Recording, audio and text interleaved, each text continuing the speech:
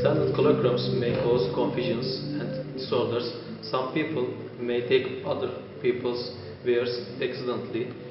In addition to this, uh, for instance, when standard cloakrooms are not able to keep all jackets, uh, they may be damaged. Uh, on the other hand, words which belong to different people might be uh, subjected to bad smells. In this project, we use barcode kits to get rid of confusions. So, we draw a real-life model of our closet. The barcode reader is located near the HMI and PLC itself. The PLC we use as a master. We have barcode kits on each hanger, which we hang the wires on, and there is a relation between them. The second PLC we use, a slave, is communicates with master itself and the system in a whole and finds the clothes, jackets or whatever you hang more accurately.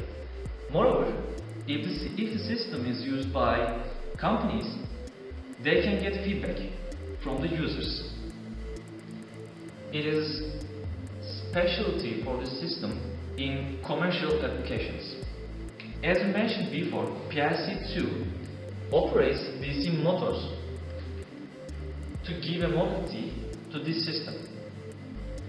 However, it has one more function to determine if there is a coupling between delivery's barcode key, which is entered by the user, and the located barcode key, which is prepared before. When the barcode reader inside the system fits, DC motors will stopped. Thus, process will be completed. System has DC fan for air cleaning with this temperature sensor and humidity sensor. There is a relation with DC drive fan and temperature sensor and humidity sensor.